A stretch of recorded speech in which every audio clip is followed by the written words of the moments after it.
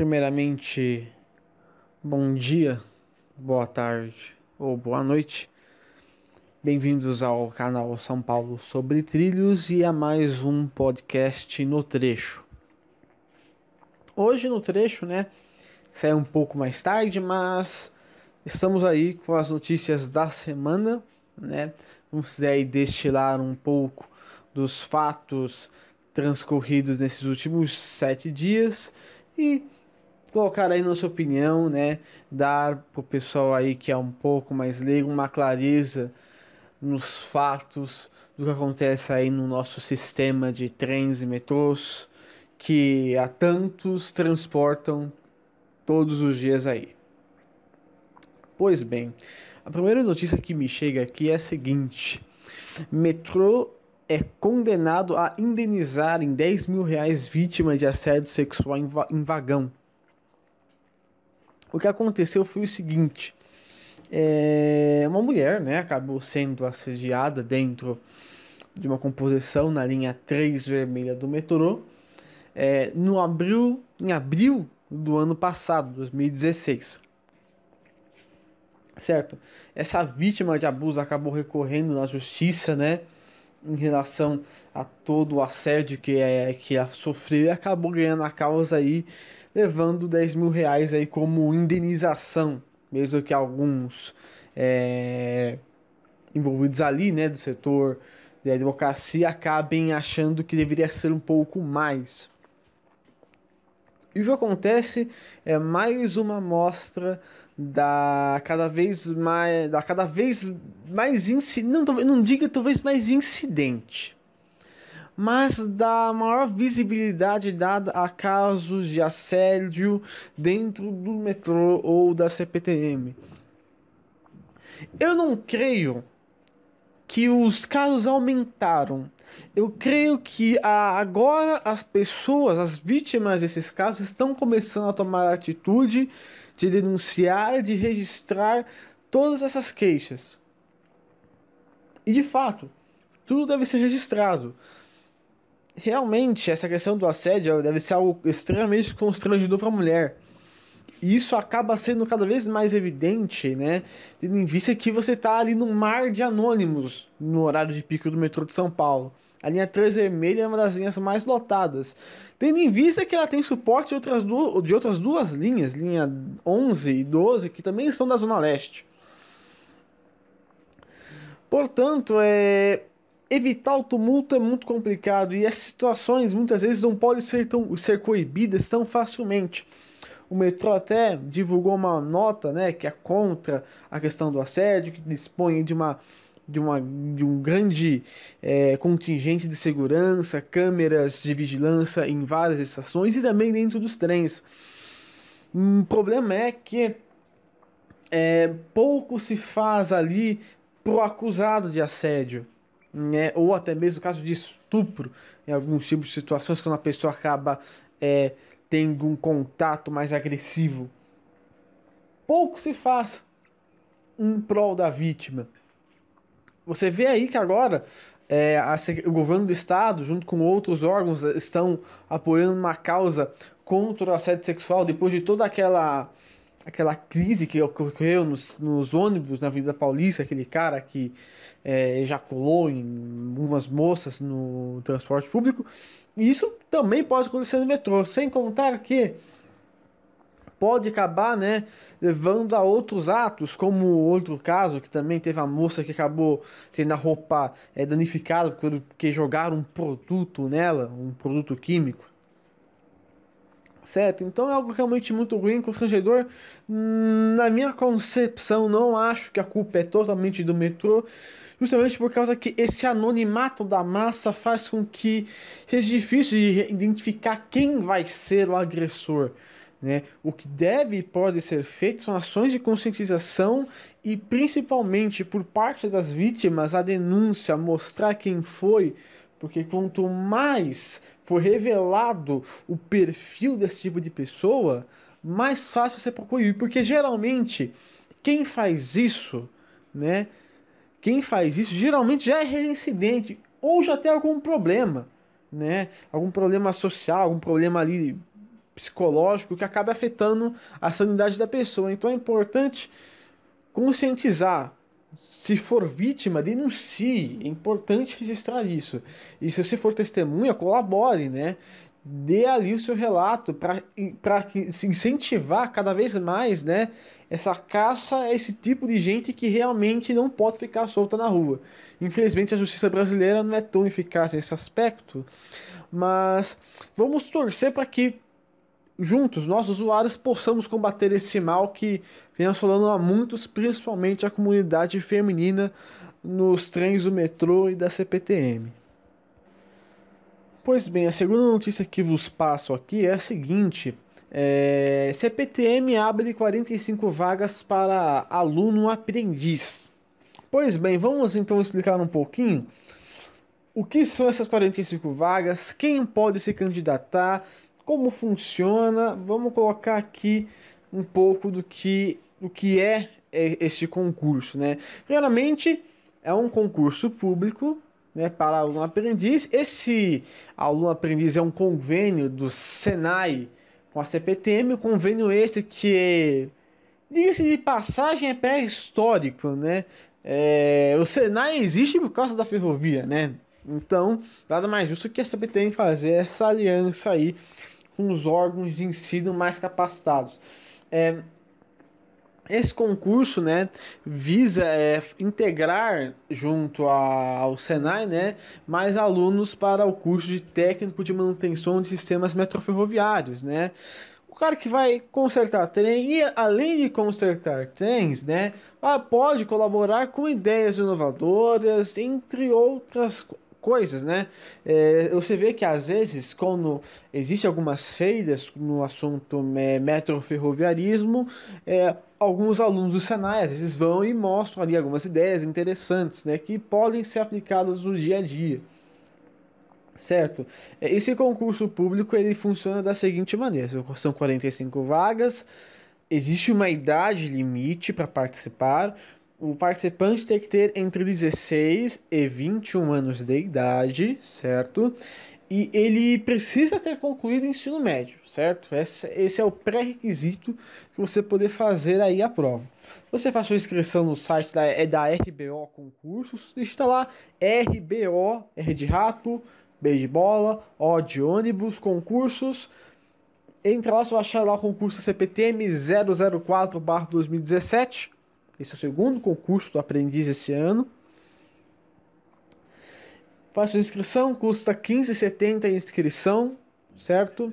É, ela, a, ela pode ser feita até o dia 17, no caso, o pagamento da inscrição para efetivá-la de fato. As provas se iniciam no dia 30 de outubro desse mês ainda. E a efetivação do cargo se dará no ano que vem se eu não me engano, não, não foge muito a memória, no comecinho de fevereiro. No comecinho de fevereiro, a pessoa já está ali integrada ao corpo dos alunos aprendizes da CPTM, certo? Então, é, para quem quiser ir uma experiência, né, uma experiência remunerada, né, é muito bom, né? O pessoal que já fez a prova, com certeza, e lembrando né, que os melhores alunos que desempenharem é, funções boas podem ser contratados pela CPTM. Isso se outras empresas do setor não contratarem essa pessoa antes. Então, né, fica aí a recomendação concurso do aluno aprendiz. 45 vagas aí para quem é mais jovem. Pois bem, a próxima notícia então que me chega é a seguinte, uma notícia muito importante, né? Grupo chinês do setor ferroviário e Mitsui fazem proposta para assumir a linha 6 laranja. Vamos então por partes. A linha 6 laranja é aquela linha que vai ligar o bairro da Brasilândia, na zona noroeste de São Paulo, com a estação é, São Joaquim, certo? São Joaquim, isso, exatamente. São Joaquim, na linha 1 azul do metrô, passando ali por, por Água Branca, por Higienópolis Mackenzie, enfim, vai, ter, vai ser uma linha muito importante para equilibrar um pouco a demanda da Zona Norte, né? Que aquela região específica não é muito bem servida com é, é, servir apenas com ônibus e o metrô ali ajudaria muito pessoal. Há alguns meses atrás, as obras, alguns meses, acho que alguns anos já, né? As obras da linha 6 pararam, né? Por causa do seguinte, é, o consórcio da linha 6 laranja, né? tinha em sua composição algumas empresas com ficha suja na praça, né? É, empresa aqui, ó, como Odebrecht, Queiroz Galvão, Queiroz Galvão e UTC. Empresas de engenharia renomadas por serviços de fato de engenharia, entretanto extremamente queimadas na praça por escândalos de corrupção em altos portes, né? Todo mundo já sabe o que é Lava Jato a essa altura do campeonato. A gente não vai precisar entrar aqui em âmbitos políticos. Pois bem, eis que então o que acontece é para a MOV São Paulo prosseguir com as obras, é teria que ter um empréstimo do BNDES, que é o Banco Nacional de Desenvolvimento. Entretanto, pelas empresas serem ficha suja, esse empréstimo não foi concedido as obras ficaram paradas e ficou nesse lenga-lenga até agora, pelo menos. Neste momento, houve uma sinalização de duas empresas chinesas, certo? Eu vou pegar aqui o nome das empresas chinesas, que são as seguintes empresas: China Railway Capital e China Railway First Group, Group né? É, pelo visto, são duas empresas bem grandes do setor ferroviário né? A China que anda expandindo sua área de influência para vários setores, né, em vários países, parece que eles tiveram interesse em assumir o controle societário da Move São Paulo, né? Do pessoal do controle societário, apenas a Mitsui vai ficar. A Mitsui, como é empresa japonesa, certo? Apenas a Mitsui vai ficar ali junto com os sócios chineses, né? Esses sócios pediram aí um prazo de 90 dias para uma série de análises, né, 30, 90 dias, 3 meses, para uma série de análises, inclusive todo aquele trâmite do empréstimo com um BNDES. Tudo para que, se os prazos forem muito otimistas, as obras possam ser retomadas a partir de janeiro de 2018. Feito isso, se as obras pelo menos retomarem, já é um grande passo para que a linha é, surja, né? para que a linha é, floresça. Lembrando, a linha 6 laranja é uma linha que ela já é uma PPP, é uma PPP do tipo integral, né? que contempla desde a implantação da linha, construção e operação. As linhas que a gente tem agora elas foram construídas pelo Estado e vão ser operadas por entes privados. Essa aqui não. Serão construídas por entes privados e operadas por entes privados durante determinado tempo. Portanto, né, é, a culpa da linha 6 estar travada não é necessariamente do governo, em sim do ente privado que acabou atrasando aí, né, é, devido à sua confiabilidade não ser mais a mesma de alguns anos atrás. Portanto, os investidores chineses terem interesse na linha já é uma, não diríamos que a luz no fim do túnel, mas é aquele clarão que bate ali, aquela pequena clarão que dá para ver as pedrinhas do túnel, né? É um sinal de que alguma coisa está na frente, então vamos esperar para ver qual vai ser o desfecho dessa história e esperar que a linha 6, que é uma linha tão importante, é, comece a caminhar novamente e que ela possa aí finalmente beneficiar as pessoas que, né, tanto necessitam dela. Pois bem, a próxima notícia aqui que me chega é a seguinte notícia. CPTM e metrô fazem mais apreensões de ambulantes. Pois bem, é, não é de hoje né, que os usuários da CPTM do metrô já estão convivendo com o famoso comércio ambulante vulgo shop train, né? É, para quem não sabe, o comércio ambulante, isso é lei, é uma lei federal, certo? O comércio não só lei federal, como faz parte da norma das empresas. Comércio ambulante dentro do, dos vagões, dentro dos trens, ele é proibido. Você não pode ficar vendendo balinha, vendendo fone de ouvido, né? Enfim, é proibida a venda dentro dos vagões e dos trens. O que acontece é o seguinte: de uns tempos para cá, ocorreu uma verdadeira proliferação do serviço ambulante. Certo? Eu vou falar serviço porque realmente alguns deles prestam serviços para a sociedade de maneira constante, né? Consistente.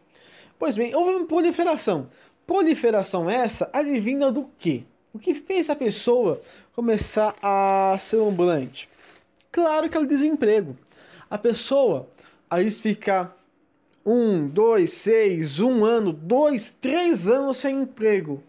Ela não vê outra opção a não ser marretar dentro de um trem. O que acontece é o seguinte: existe uma grande divisão sobre na, na, na posição dos usuários em relação aos marreteiros.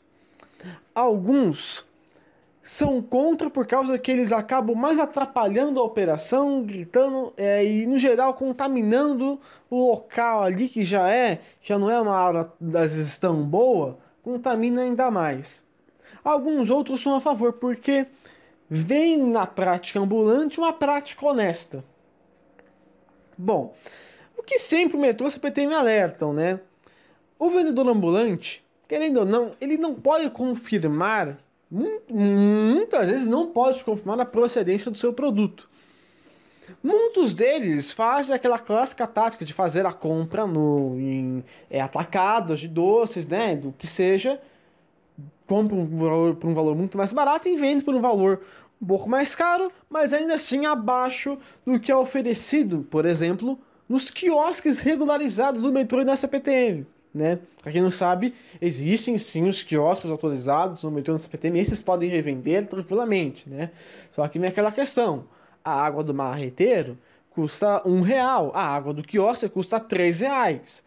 Aí vai depender do que você quer gastar. Entretanto, é aquela questão também que é a procedência, porque diz, as, diz algumas lendas que ao parte do material que alguns marreteiros vendem tem uma origem duvidosa, uma origem é, divina de furto, um caminhão tombado, coisas do gênero, né?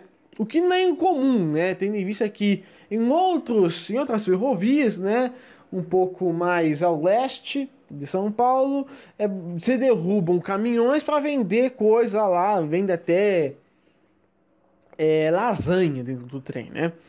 E o que eu quero registrar aqui é que realmente houve um aumento consistente nas apreensões pela CPTM e ainda mais do metrô. Os números que eu tenho aqui são do primeiro semestre de 2017 e 2016.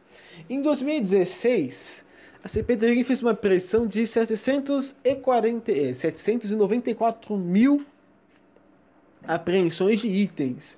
Neste ano, já foram 826 mil apreensões. Isso no primeiro semestre do ano, né?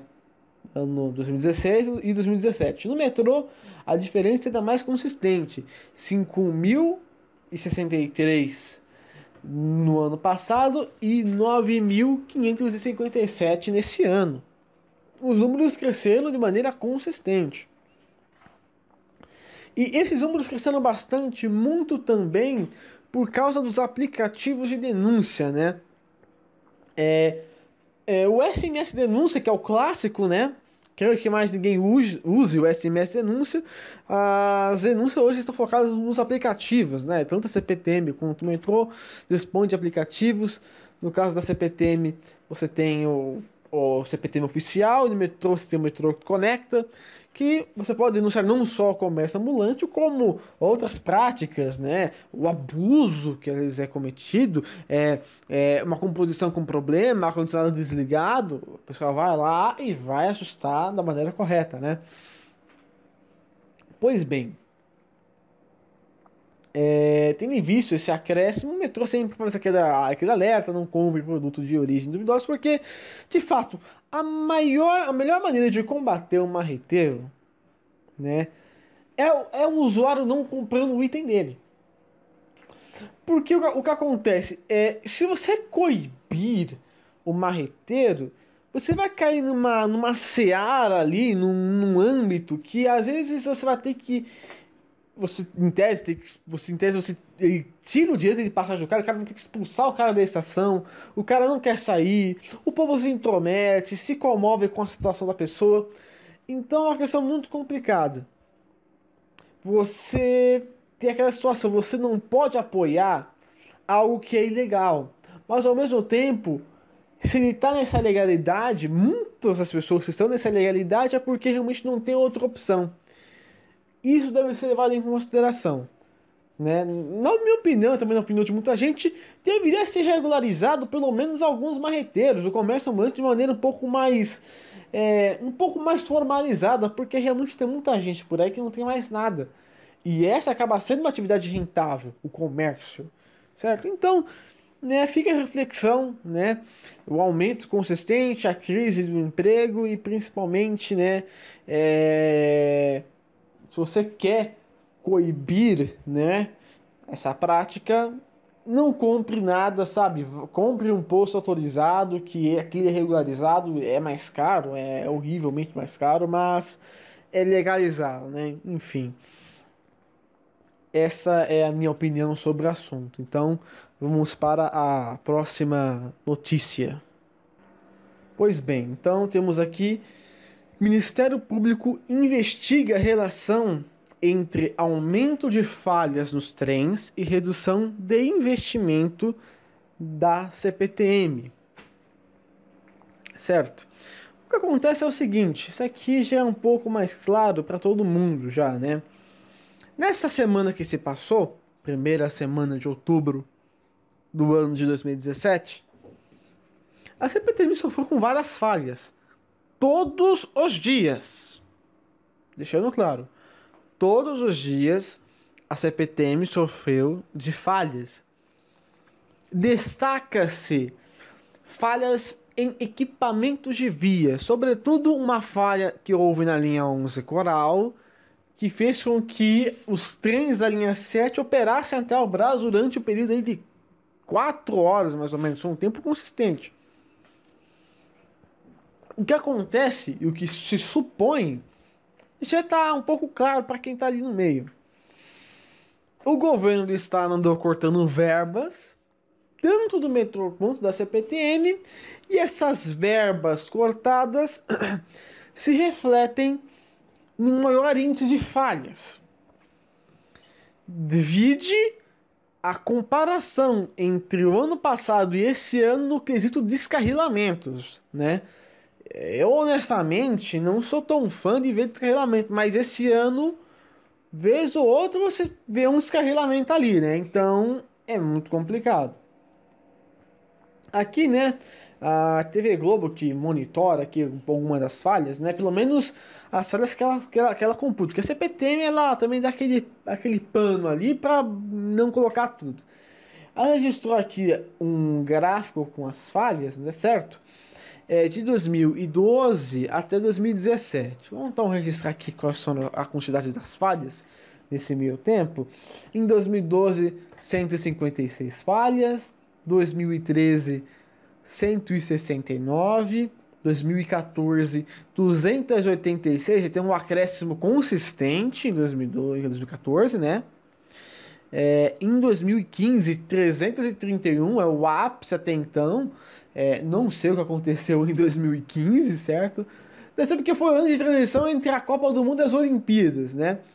Em 2016, ano de Olimpíadas, houve né, um, um decréscimo consistente de, 100, de 143 falhas e agora, até esse tempo aqui de 2017, subiu para 200 falhas. Ou seja, a CPTM parece ter tomado um rumo certo, mas ela voltou atrás. Né? Hum, essas falhas, né, talvez elas tenham diminuído bastante de 2015 para 2016 por causa da, da, da chegada dos trens novos.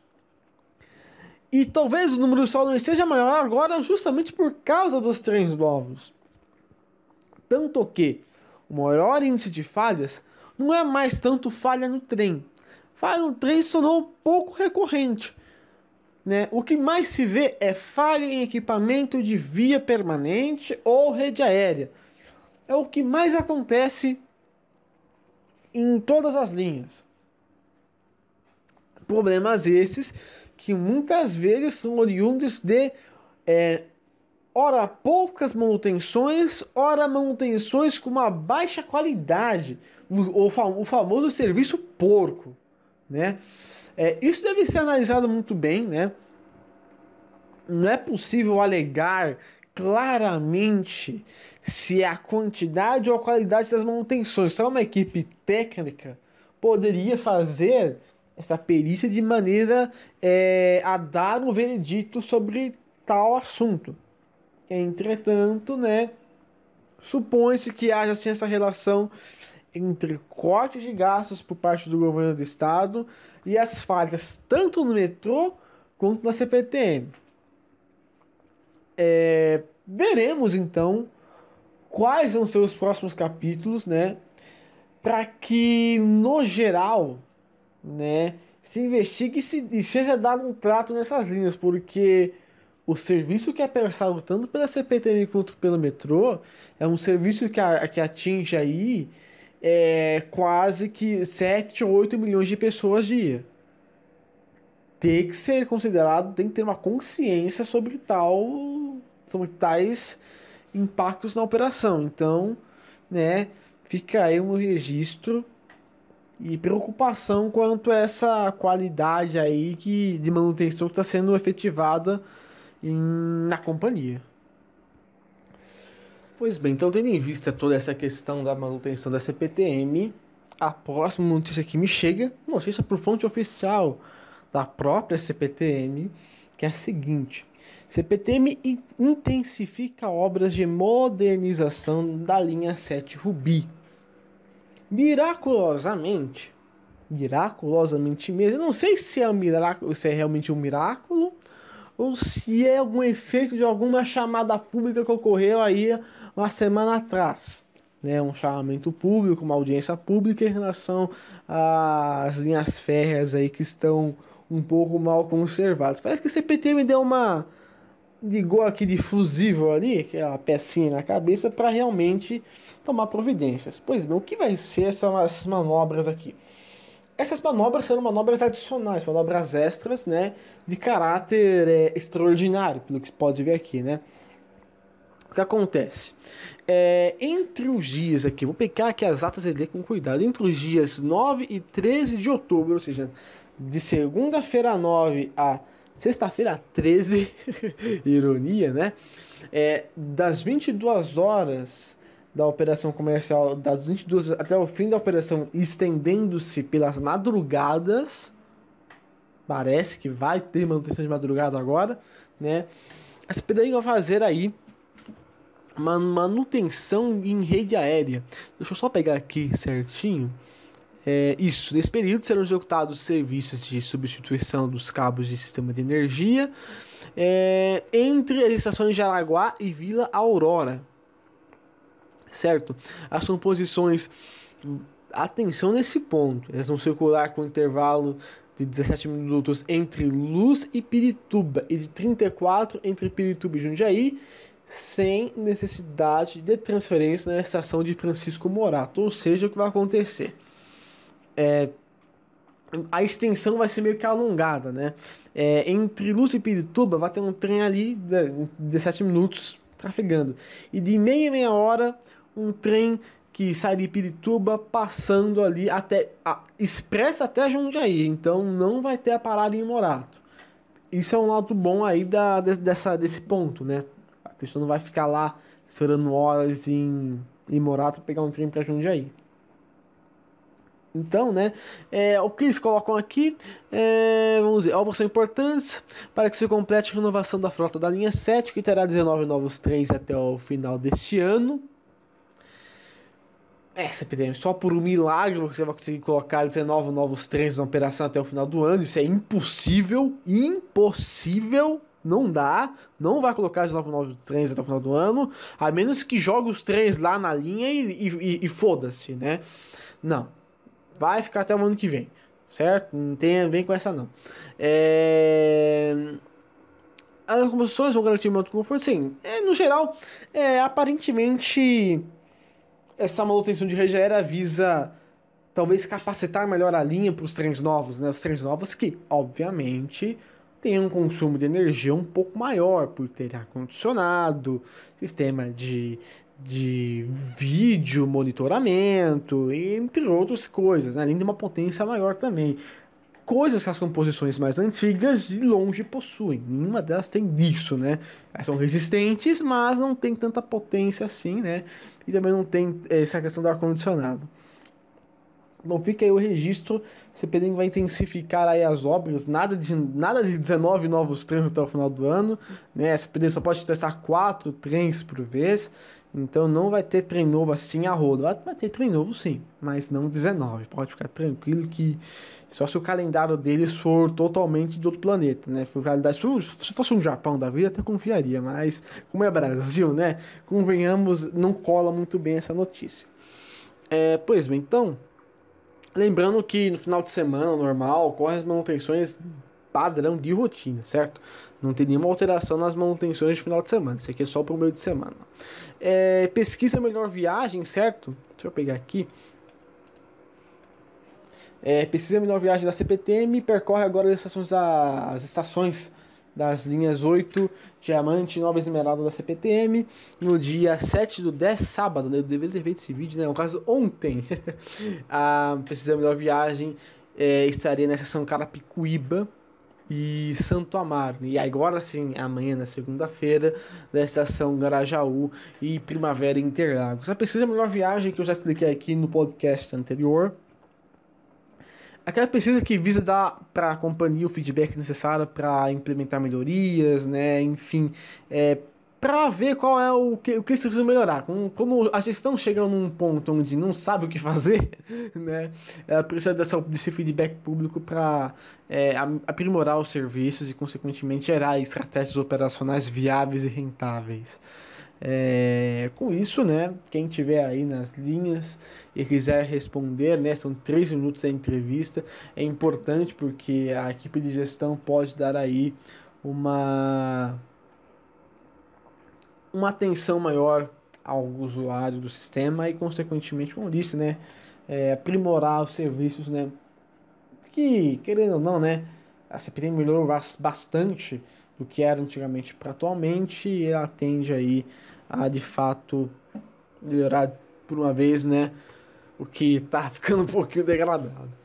É, e, a última, e a última notícia, né, esse que não tem nem pauta aqui, esse aqui que é uma notícia mais comum, foi uma, é, um, é um luto, por assim dizer, das duas últimas frotas aí, né? Das duas últimas frotas, não, duas composições do metrô de São Paulo que foram baixadas recentemente.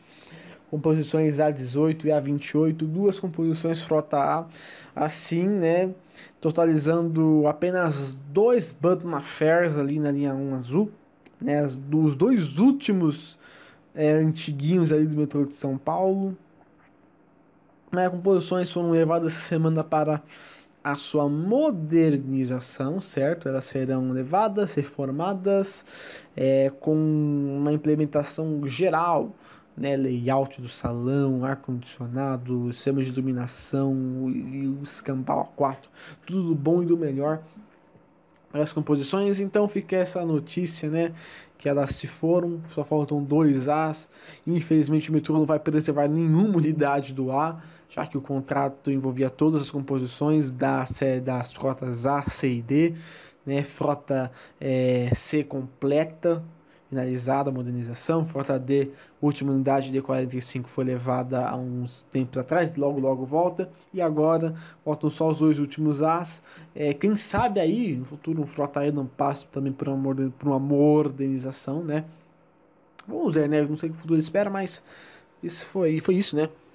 As duas composições da Frota foram baixadas e agora resta foge-me foge me engano, acho que A21 e A35 são as duas que ainda restam. Então, é, para quem quiser pegar elas ali, registre-as e registre-as bem, porque nunca não se sabe quando elas vão sair de operação.